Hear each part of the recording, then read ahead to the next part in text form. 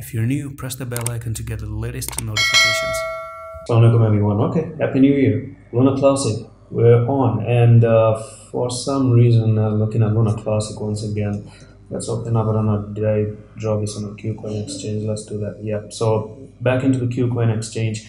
Now it seems like yesterday we closed below this trend line and then we backtested and paused it again, which is pretty crazy. So you went down like this you made uh, almost an evening star, three black crows continuation patterns.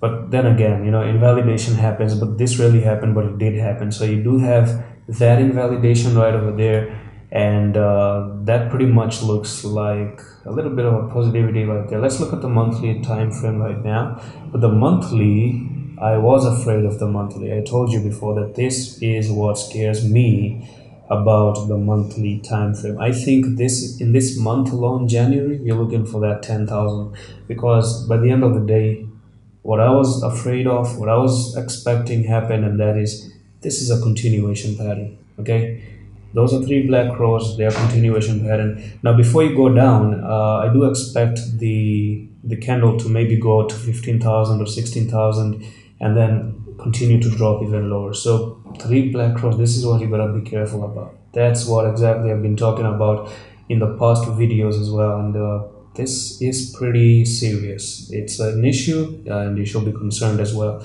We got 18 hours to close this candle and the way you're gonna close this candle is not even good. I talked about the shooting star. So it's really, really making this long-legged doji known as a shooting star. In other words, where the sellers took over everything. I mean, at first we were pumping up like this. It could have been a good idea if you ended up pumping up like that to 20,000 and close to 20,000 on a weekly time frame. If you did that, that would have been positive.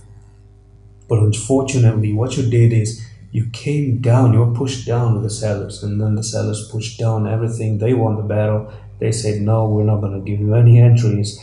And we didn't get any entries as a buyers. And now you have that evening star. And next week looks like we need to, to go on for another bloodbath, potentially all the way down to that line, touch that line. And then we're going to see what happens next. We do have a technical target to 9,800. We are trading at 14,000. So let's see what uh, January brings right now.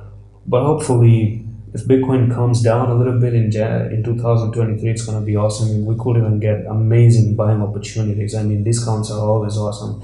And I want to train you this always, always look for discounts. Discounts are amazing and always try to wait for discounts.